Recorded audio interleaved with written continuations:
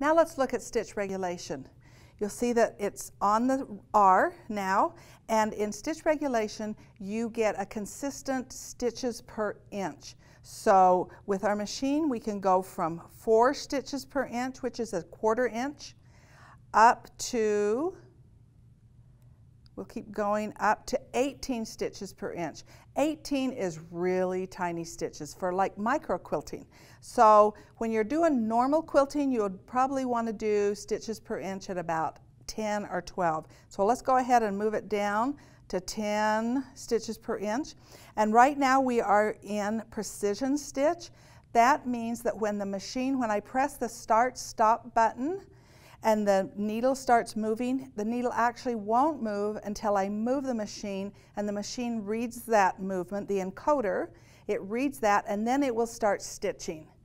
When I press that button here, it puts me in what we call cruise.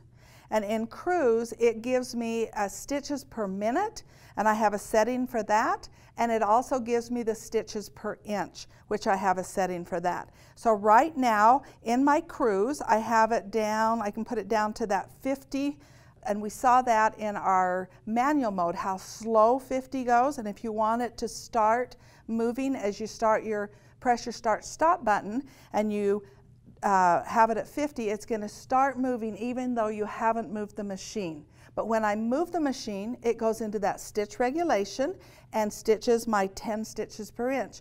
If I were to stop moving the machine without turning off the start stop button, then the, the needle would continue at that stitches per minute at 50, which is a really slow movement. Why would I use cruise? Why would I use precision? Well, let's go back to precision. The reason I would use precision is if I am using rulers and I'm moving my ruler and I want the needle to stop and not pound stitches in that area, I, I can stop moving the machine, I can adjust my ruler, and the needle sits there somewhere in that revolution. Not in the down, not in the up, but somewhere in that cycle. Then, as I move the machine again, it starts stitching. Now in cruise, why would I use cruise?